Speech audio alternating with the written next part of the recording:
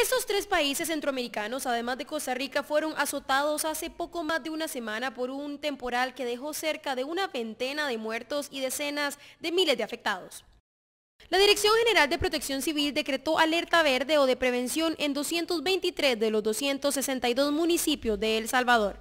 El organismo explicó que un sistema de baja presión se encuentra ubicado al este de Nicaragua y se estará posicionando al sur de El Salvador a partir de este martes, lo que inducirá una vaguada que incrementará las lluvias durante los próximos tres días. Esas lluvias causaron en El Salvador la muerte de seis personas y afectaron más de 1.500 viviendas, de acuerdo con los datos oficiales. En Honduras, la Comisión Permanente de Contingencias, COPECO, declaró una alerta verde o preventiva que estará vigente por las próximas 24 horas en seis de los 18 departamentos de este país centroamericano. Se trata de los departamentos de Gracias a Dios, Colón, Atlántida, Islas de la Bahía, es decir, en el Caribe de este país centroamericano, y Olancho al oriente de Honduras.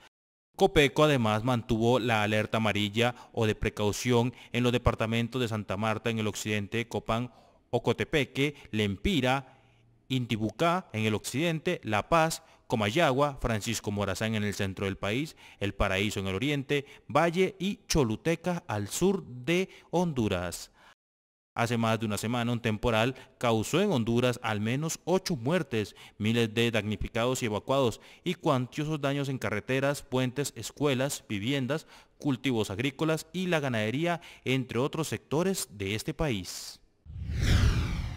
El gobierno de Nicaragua dijo que espera que una depresión tropical que todavía no está formada impacte en su extremo noroeste en las próximas horas, con vientos de entre 35 y 40 kilómetros por hora en su territorio, que se encuentra en alerta amarilla. Los puntos de mayor riesgo actualmente son el Pacífico Norte y Centro de Nicaragua, donde se han registrado precipitaciones casi constantes en las últimas dos semanas, con un saldo de cuatro personas muertas, 24.461 afectados y 6.665 evacuados.